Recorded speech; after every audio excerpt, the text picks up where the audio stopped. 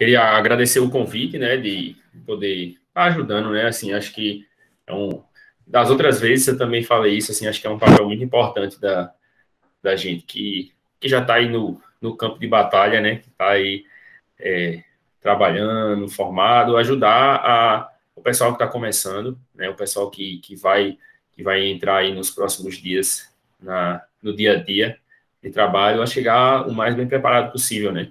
É, eu acho que quanto mais a gente ajuda, quanto mais a gente é, é, dá uma mãozinha, né, dá um, um empurrãozinho ali para o colega que vai se formar, melhor é a qualidade do, dos colegas que vão trabalhar junto com você mais para frente, melhor é a assistência dos pacientes, mais a gente fortalece a classe, né, mais a gente fortalece essa assistência aí e presta o melhor serviço possível para o paciente, que é o, a razão de da gente ser médico, né? Parece algo meio romântico, mas é bem por aí, né? A gente é médico para é, ajudar, né? De certa forma. Lógico que existe é profissão, a gente tem que.